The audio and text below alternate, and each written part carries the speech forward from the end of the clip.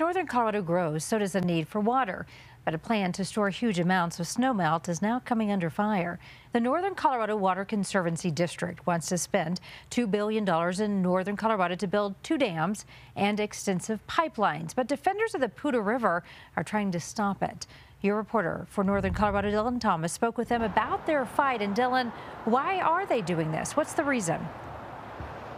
You know, the Poudre River right here behind me is a key source to revenue and literal life for here in northern Colorado and many communities to our east. There's now a lawsuit, though, to try and stop the building of those dams. Opponents say that it would divert water, prioritizing developing communities over the river itself.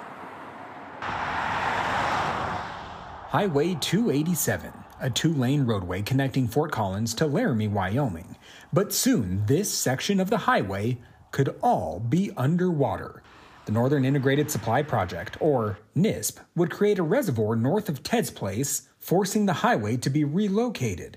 The project, awarded a federal permit by the Army Corps of Engineers just over a year ago, a permit some are now trying to block. We're very concerned about the project. Mark Easter and his peers with Save the Poudre filed suit arguing the Corps' permit approval places the Poudre's ecosystem at risk. The entire ecosystem, the Poudre River, is organized around those peak flows. The organization believes taking water from the Poudre for the reservoir will damage the river's ecosystem downstream, especially in summer months with snowmelt rising the river. If we lose, lose those peak flows, we functionally we just lose, lose the river. Northern Water, via statement, told CBS News Colorado they are, quote, confident in the work performed by the Army Corps of Engineers that the permit issued to NISP will be affirmed based on the detailed work done over the years and extensive mitigation included, end quote, something Save the Poudre disagrees with. The greatest concern that we have is that there's better alternatives.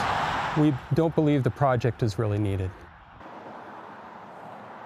We should note we did reach out to the Army Corps of Engineers seeking interview or comment for this story. However, a spokesperson told me they can't provide further comment as there is pending litigation. Reporting live in Northern Colorado, Dylan Thomas covering Colorado First. So we know, Dylan, that you'll continue to keep us posted on what happens. Thanks so much.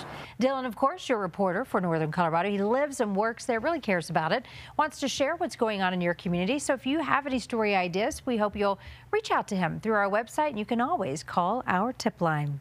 Super Bowl